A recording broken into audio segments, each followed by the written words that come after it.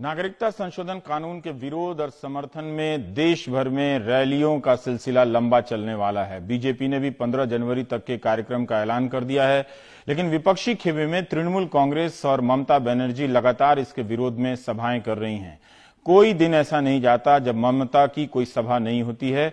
कोलकाता में लेफ़्ट और कांग्रेस की भी रैली हुई। शुक्रवार को वहीं यूपी में पुलिस हिंसा के बीच लोग, कांग्रेस, बसपा और अन्य विपक्षी दलों के स्थानीय नेताओं और कार्यकर्ताओं को भी ढूंढ रहे हैं कि वो, वे लोग कहाँ हैं, ट्विटर पर हैं या यूपी में हैं। इन सब के अलावा दुनिया के अलग अलग देशों में भी विरोध प्रदर्शन हो रहे हैं।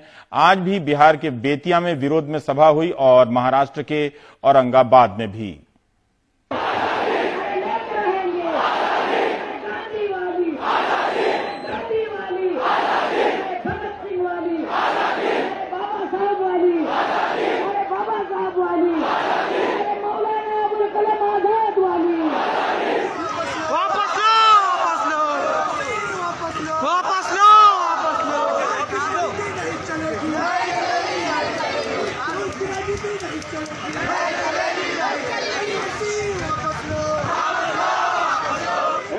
ইনকলাব জিনাফত দেশে দেশে বিস্তেষ জুড়ে বিভাজনের রাজনীতি মানছে না এনসিআর সিএবি সিএবি এনপিআর মানছে না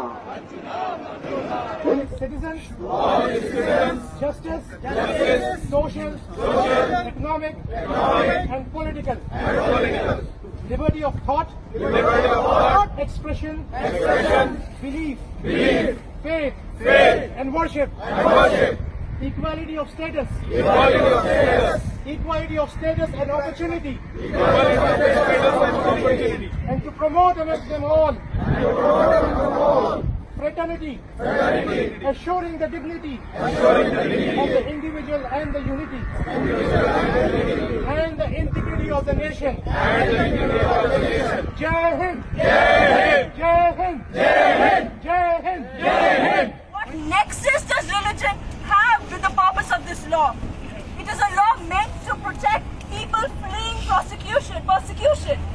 And many people in our region are fleeing persecution on the grounds of their political beliefs, gender, race, language, sects. And tell me, why are they any less deserving of the benevolence, quote unquote, benevolence of the Indian state? What is worse, this law, in combination with the proposal to prepare a nationwide register of citizens, may lead to many Muslims who are bona fide citizens of India being stripped of their citizenship. Muslim lives matter too. Muslim lives matter too. Muslim rights are human rights. An open letter to the government of India.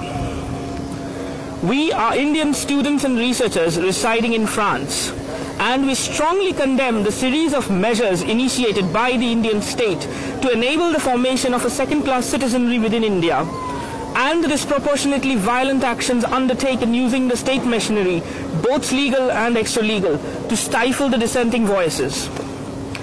The Citizenship Amendment Act, abbreviated as CAA 2019, that was passed by the Indian Parliament on the 11th of December 2019, is fundamentally discriminatory in nature and resorts to the classification of citizens on the basis of religion